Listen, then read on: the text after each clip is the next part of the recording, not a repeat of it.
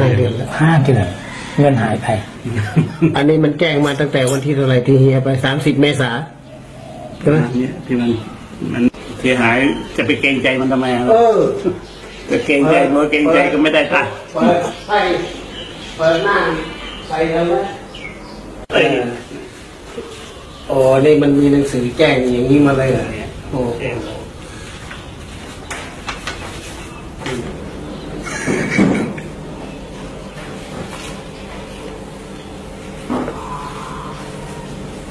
บัญชีหายนั้น เราพบจากอะไรครับ พบจากไอ้ไอ้นี่ไงนี่อัมันนนั้นไม่นี่หนังสือแจ้งมาแจ้งมาหนังสือจากธนาคารแจ้งมาว่าเงินของคุณเหลืออยู่แค่นี้ใน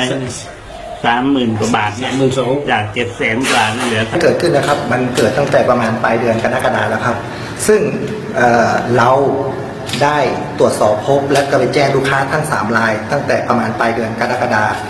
ให้ทุกให้ลูกค้าทุกคนทราบ แล้วหลังจากนั้นเเราก็ดำเนินการตามธนาคาร ซึ่งขออนุมัติผู้มีอำนาจ ให้คืนเงินให้ลูกค้าทั้ง 3 ราย ซึ่งเราได้แจ้งลูกค้าไว้แล้วว่าจะใช้เวลาตรวจสอบประมาณ 3-4 เดือน ซึ่งเราก็ติดตามมาตลอดและลูกค้าเราก็แจ้งตลอดเลยว่าอออยู่ระหว่างดำเนินการนะ อยู่ระหว่างดำเนินการตลอดมา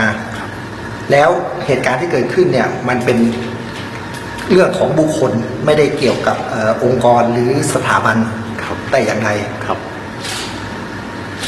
ครับเห็นว่าเด็กคนนี้ยักยอกเงินของธนาคารไปทำอะไร ก็เอ่อเบื้องต้นที่สอบน่าจะเอามีไปเล่นการพนันออนไลน์